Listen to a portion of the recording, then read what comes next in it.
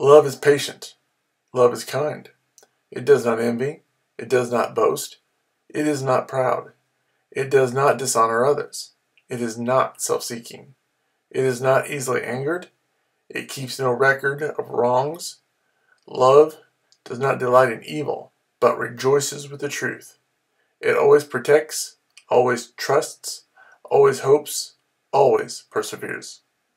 1 Corinthians chapter 13, verses 4 through 7.